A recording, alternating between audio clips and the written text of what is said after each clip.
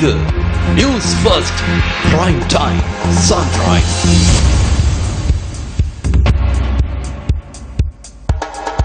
வணக்கம். நீங்கள் இணைந்து கொள்வது நியூஸ் ஃபர்ஸ்டின் காலை நேர பிரதான செய்தியுடன். விரிவான செய்திகளுக்கு செல்லும் முன்னர் முதலில் தலைப்புச் செய்திகள். கைது செய்யப்பட்ட பிள்ளையானிடம் தொடர்ந்தும் விசாரணை. வடக்கு கிழக்கு ரயில் சேவைகளின் நேர அட்டவணை இன்று முதல் அமலுக்கு வரும் வகையில் மாற்றம். ராஜகிரிய மற்றும் மகரகம பகுதிகளில் விசேட வாகன போக்குவரத்து திட்டம் இன்று முதல் அமலில்.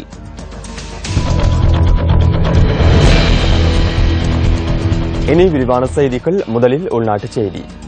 வடக்கு கிழக்கு ரயில் சேவைகளின் நேர அட்டவணை இன்று முதல் அமலுக்கு வரும் வகையில் மாற்றம் செய்யப்பட்டுள்ளது.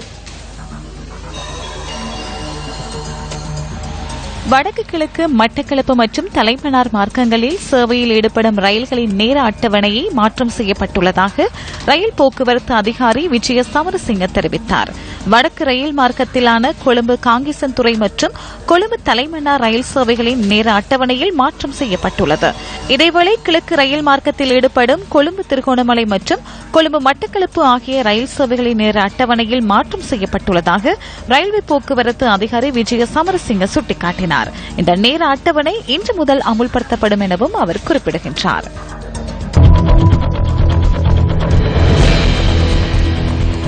கைது செய்யப்பட்ட கிழக்கு மாகாண சபையின் முன்னாள் முதலமைச்சர் பிள்ளையான் என்று அழைக்கப்படும் சிவனேசதுரை சந்திரகாந்தன் குற்றப்புலனாய்வு திணைக்களத்தில் தொடர்ந்தும் தடுத்து தடுத்து வைக்கப்பட்டுள்ளதாக போலீசார் குறிப்பிடுகின்றனர். கைது செய்யப்பட்ட கிழக்கு மாகாண சபையின் முன்னாள் முதலமைச்சரும் தற்போதைய மாகாண சபை உறுப்பினருமான சிவனேசத்துறை சந்திரகாந்தனிடம் குற்றப்புலனாய்வு திணைக்களத்தினர் விசாரணைகளை மேற்கொள்ள உள்ளதாக போலீஸ் ஊடக பேச்சாளர் உதவி போலீஸ் அத்தியட்சகர் ருவான் குணசேகர தெரிவித்தார். தமிழ் தேசிய கூட்டமைப்பின் முன்னாள் பாராளுமன்ற உறுப்பினர் ஜோசப் பரராஜசிங்கத்தின் கொலை தொடர்பிலான விசாரணைகளுக்காக அவர் நேற்று குற்றப்புலனாய்வு திணைக்களத்தினால் கைது செய்யப்பட்டதாகவும் மேலதிக விசாரணைகளுக்காக தொடர்ந்தும் குற்றப்புலனாய்வு திணைக்களத்தில் தடுத்து வைக்கப்பட்டுள்ளதாகவும் போலீஸ் ஊடக பேச்சாளர் குறிப்பிட்டார். இரண்டாயிரத்தி ஐந்தாம் ஆண்டு டிசம்பர் மாதம் இருபத்தி ஐந்தாம் தேதி மட்டக்களப்பில் உள்ள தேவாலயம் ஒன்றினுள் முன்னாள் பாராளுமன்ற உறுப்பினர் ஜோசப் பரராஜசிங்கம் சுட்டுக் கொல்லப்பட்டமை குறிப்பிடத்தக்கது.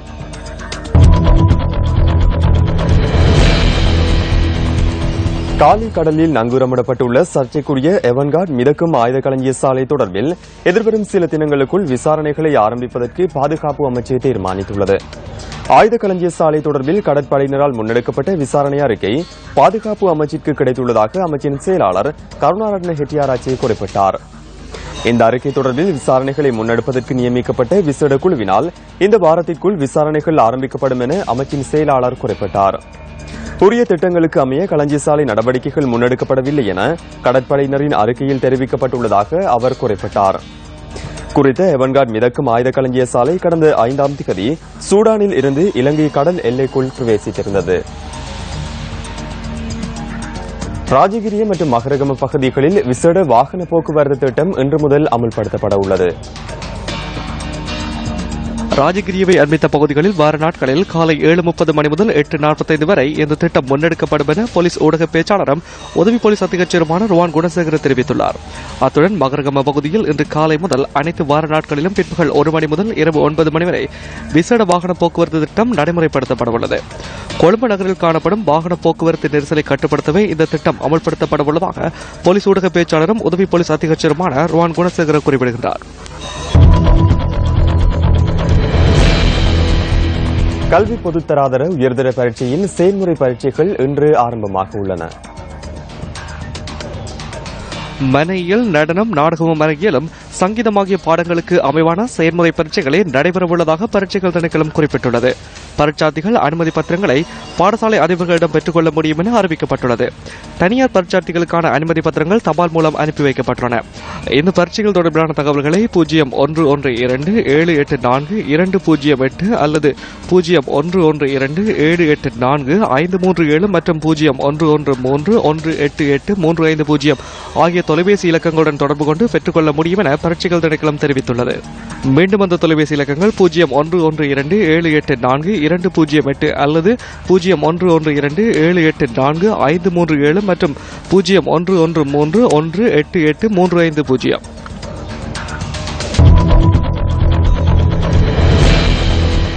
புத்தளம் சிராம்பியடி பகுதியில் இடம்பெற்ற வாகன விபத்தில் ஒருவர் உயிரிழந்துள்ளார். லொரியும் முச்சக்கர வண்டியும் மோதியதில் இந்த விபத்து இடம்பெற்றுள்ளது. இந்த சம்பவத்தில் ஸ்ரீலங்கா சுதந்திர கட்சியின் பிரதேச சபையின் முன்னாள் உப தவிசாளர் துஷார சந்திரகாந்த என்பவரே உயிரிழந்துள்ளார். விபத்துடன் தொடர்புடைய லொரியின் சாரதி புத்தளம் போலீசாரால் கைது செய்யப்பட்டுள்ளார்.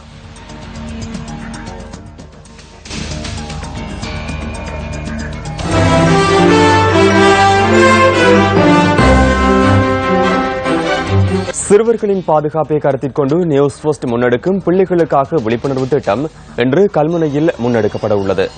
சிறுவர்களின் எதிர்கால பாதுகாப்பிற்காக நியூஸ் போஸ்ட் சட்டம் ஒழுங்கு மற்றும் சிறைச்சாலைகள் மறுசீரமைப்பு அமைச்சுடன் இணைந்து இந்த திட்டத்தை முன்னெடுத்துள்ளது. இது தொடர்பான மேலதிக தகவல்களை வழங்குகின்றார் எமது அலுவலக செய்தியாளர் ராசலிங்கம் ரவிரகு.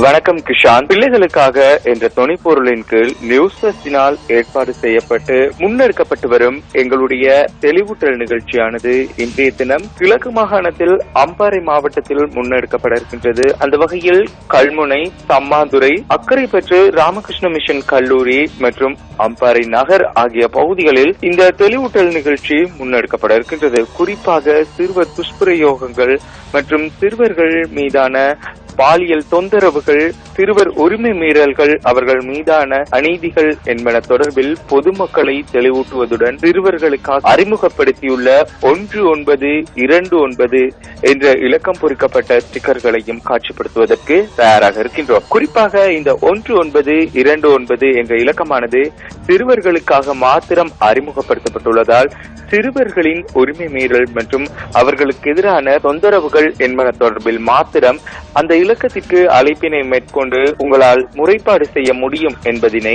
அனைத்து பொதுமக்களிடமும் தெரியப்படுத்திக் கொண்டு ஆகவே எங்களுடைய அம்பாறைவாழ் அனைத்து சொந்தங்களுக்கும் இந்த காலை பொழுதில் அன்பானதொரு வேண்டுகோள் விடுக்கின்றோம்.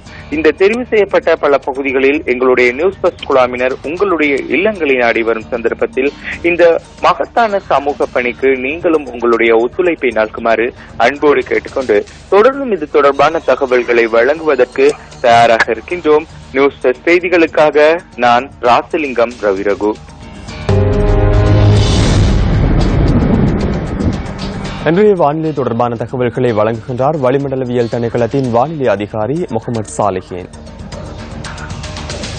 வட அரைக்கோளத்தில் இருந்தும் தென் அரைக்கோளத்தில் இருந்தும் வருகின்ற காற்று சந்திக்கின்ற அயன அயல் ஒருங்கல் வலயத்தில் உருவாகியுள்ள தாளமுக்கத்தின் காரணமாக இந்த வாரத்தில் விசேடமாக பிற்பகல் மற்றும் இரவு வேளைகளில் மழையுடன் கூடிய வானிலையும் மின்னல் தாக்கங்களும் ஏற்படக்கூடிய சாத்தியம் காணப்படுகின்றது. மத்திய சப்ரகமுக மாகாணங்களிலும் காலி மாத்திரை மாவட்டங்களிலும் சிறிதளவு மழை பெய்யக்கூடும். நாட்டின் ஏனைய பிரதேசங்களின் பல இடங்களில் பிற்பகல் பன்னிரண்டு மணிக்கு பின்னர் இடியுடன் கூடிய மழை விருத்தியடையும் இடியுடன் கூடிய மழை பெய்கின்ற வேளைகளில் தற்காலிகமாக பலத்த காற்று மின்னல் தாக்கங்களும் ஏற்படக்கூடும். இவ்வாறான சந்தர்ப்பங்களில் பொதுமக்கள் அவதானத்துடன் செயற்படுமாறு கேட்டுக் கொள்ளப்படுகின்றனர். கடல் பிராந்தியங்களை பொறுத்தவரையில் புத்தளம் தொடக்கம் கொழும்பு ஊடாக காலி வரையான கரையோரத்துக்கு அப்பாலுள்ள கடல் பிரதேசங்களில் சிறிதளவு மழை பெய்யக்கூடும். நாட்டை சூழவுள்ள ஏனைய கடல் பிராந்தியங்களின் பல இடங்களில் பிற்பகல் பன்னிரண்டு மணிக்கு பின்னர் மழை அல்லது இடியுடன் கூடிய மழை பெய்யக்கூடும். காற்று மணித்தியாலத்துக்கு இருபது முதல் முப்பது கிலோமீட்டர் வேகத்தில் தென்மேற்கு திசையிலிருந்து வீசும். இத்துடன் நியூஸ் போஸ்டின் காலை நேர பிரதான செய்தி நிறைவு பெறுகின்றது. மீண்டும் சந்திக்கலாம் நியூஸ் போஸ்டின் பத்து இருபத்தைந்து மணித்தியால செய்தியில். தொடர்ந்தும் சக்தி டிவி வழங்கும் நிகழ்ச்சிகளுடன் இணைந்திருங்கள். வணக்கம். Hotline 0114-896-896 www.newsfirst.lk Feedback at newsfirst.lk